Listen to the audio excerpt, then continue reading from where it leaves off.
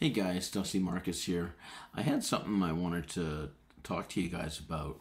Um, some time ago, I had purchased a microphone from um, uh, one of our um, local music shops, and I'll show it to you. It was a Shure um, Beta 87, and it's supposed to be a condenser microphone, and the the first thing that I noticed after I got it home is that it was working without the phantom power. Now that was my first clue that something was amiss. So um, I did a little bit of research online and I found that it was actually a counterfeit microphone. So I went back to the to the store and I showed them, and, and none of them knew about it, none of them had seen it, and I was able to actually show them what the real deal is in comparison. So I'm going to show you guys. I don't have the um, the fraudulent microphone or the um, counterfeit microphone because I had given it back to them when I uh, traded it in for the real deal. But this is the real deal. And if you open it up, I'm going to show you guys here. If you if you notice, there are these these little posts here. You can see. I'm trying. There are three posts, right?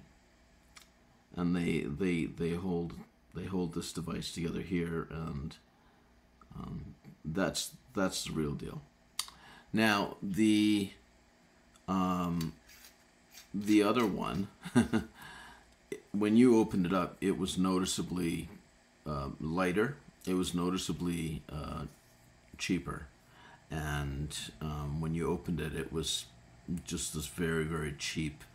Uh, it was basically a large, uh, you know, piece of plastic. There were no posts um, like there are three in this. So, for you guys out there, if if you're buying a microphone check and make sure you're not buying a counterfeit microphone. I, I'm I've wondered often how many musicians are out there that have what they think is one of these microphones that isn't, and it will work whether you're pumping um, 48 volts to it or not. And it is a very very cheap uh, microphone. It is counterfeit stay away from it. If you're buying a Shure microphone, do your homework and make sure that you're getting the real deal. Shure is one of the best uh, manufacturers of microphones in the world. And I know that they don't want this, you know, this kind of thing happening.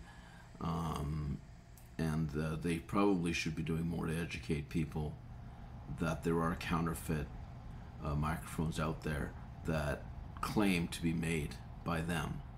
So again, um, when you take a look, open it up and check for the three posts. I'll try and show you here. The, these three posts, you can see them very clearly. Okay, so that's what you need to look out for. I hope you guys are having a great week. The week is actually over. It is now Friday night officially. Well, I guess early Saturday morning. And um, I just wanted to let you guys know, and I wish you guys the best weekend. I know it is frigid outside. It's absolutely frigid.